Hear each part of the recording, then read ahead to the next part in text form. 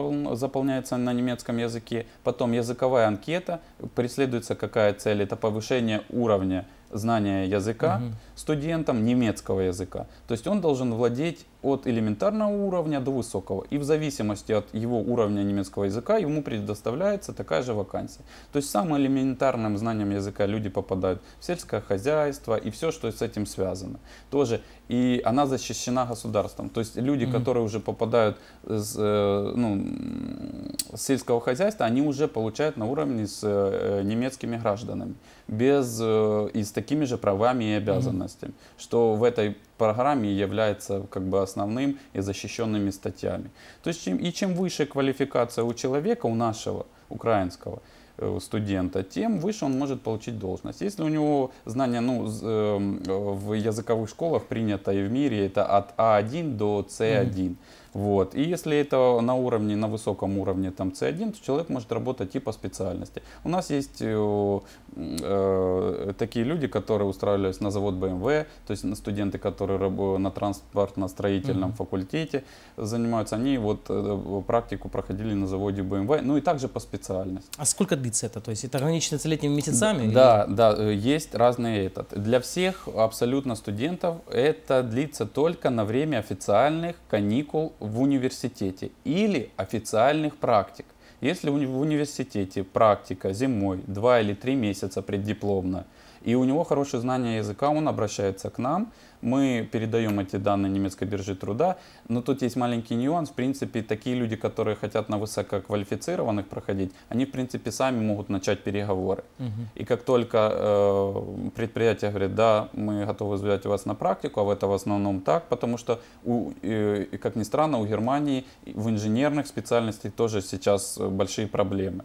Вот. э, Тогда они обращаются к нам, и мы им помогаем уже вести диалог с немецкой биржей труда, чтобы они получили свой То есть ваш официальный совет, если человек контракт. хочет устроиться за- на, на работу за, за рубежом, э, напрямую выходить на немецкую биржу труда, получается? Нет, Н- нет, нет, на предприятие. Предприятие. Предприятие. Э, Все э, вопросы для того, чтобы ну, немецкая биржа труда это тоже большая машина, Мгм. да, с очень большими бумажками. Для того они сделали свои представительства, для того, чтобы хотя бы фильтровать, чтобы не брать людей, э, которые не знают языка, чтобы кто-то помогал, потому что любая это как бы серьезная программа, и любая ошибка в данных документах а так как мы находимся не близко, Германия, Украина, чтобы до, непосредственно до них уже под- э, приходили ну, полностью готовый пакет документов. То есть заключается договор, я так понимаю, с м, работодателем за рубежом? Рабо- да, приходит договор непосредственно там, где стоят печати непосредственно немецкой биржи труда и самого работодателя. В этом договоре абсолютно расписано, сколько человек будет получать в час, сколько, где он будет жить, и какое у него будет питание, сколько на это будет выделяться средств, э, где он будет жить, и, ну и как бы все основные пункты. Ну, давайте так просто э, скажем нашим телезрителям. Приходит студент к вам в организацию. Мгм. Я хочу работать, я вот знаю немецкий язык хорошо, хочу работать ну, на заводе BMW или, например, Мгм, на каком-то у фермера. Что он действует? Он предоставляет там паспорт, диплом, справку о том, что он, Он, он учится. пред- э, это четыре документа. Это справка о том, что он учится в университете на очной форме обучения. Это э, непосредственно анкета, там, где он заполняет, э, где бы он хотел работать. Мгм. То есть это э, он просто проставляет галочки, в каких сферах он бы хотел работать.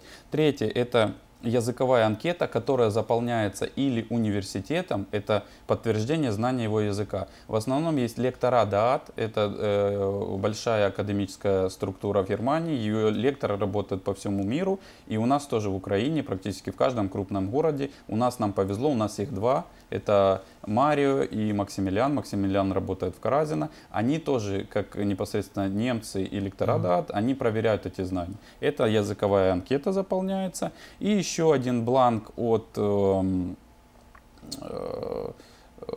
от немецкой биржи труда, который, ну, мотивационное письмо. Мгм. Можно сказать, это Ну, так. человек объясняет, почему он хочет Ну да, работать да, за да, рубежом. да. Но тоже специ... отличается от специфики программы А ЦАП. Сколько студентов прошло через за эти пять лет? Получили такой ценный опыт за Э, рубежом? Да, работы? то есть мы представляем по этой программе всего три года, это будет третий Мгм. год. То есть в первый год это было, заявок было около 200 со всей Украины, но по- попало около 100 человек, наверное.